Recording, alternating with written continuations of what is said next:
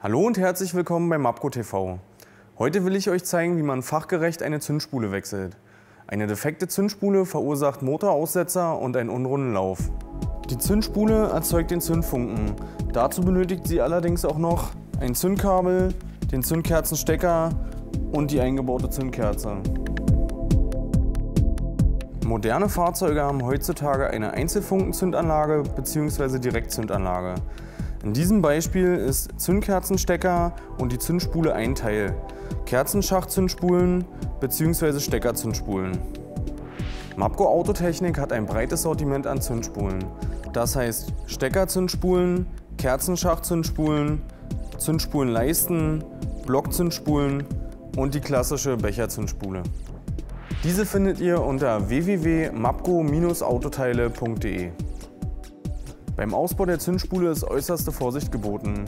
Das Zündsystem arbeitet unter Hochspannung und ein Fehler kann fatale Folgen haben.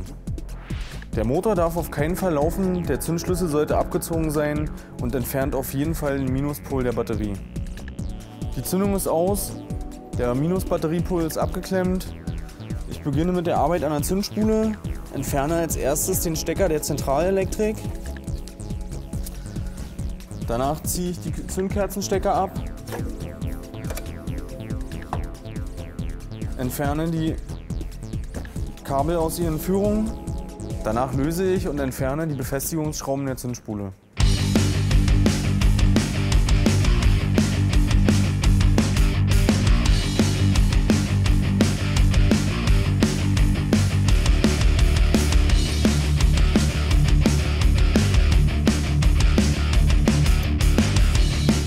Ich habe mir beide Zündspulen auf den Wagen gelegt, kann jetzt Zündkabel für Zündkabel wechseln, verhindere dadurch, dass ich eins vertausche und der Motor nachher nicht läuft. Im gleichen Arbeitsschritt schaut ihr euch die Kerzenstecker an. Wenn diese verunreinigt sind, solltet ihr sie sauber machen.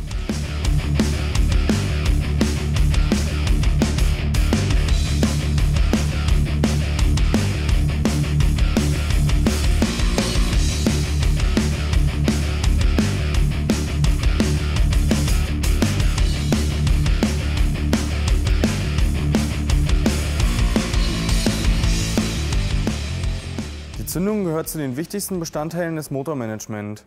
Der richtige Zündzeitpunkt wird vom Motorsteuergerät vorgegeben. Es greift dazu auf ein gespeichertes Zündkennfeld zurück. Synchronisiert wird die Zündanlage durch einen Nockenwellen- und Kurbelwellensensor. Jetzt setze ich die Zündspule wieder mit den Befestigungsschrauben an und ziehe sie mit ca. 10 Nm fest.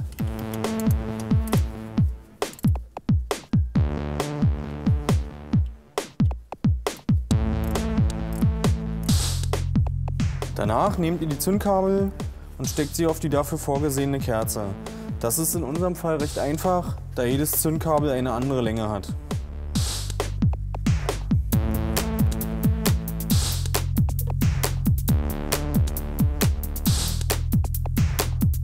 Als nächstes stecke ich den Anschlussstecker der Zentralelektrik wieder auf,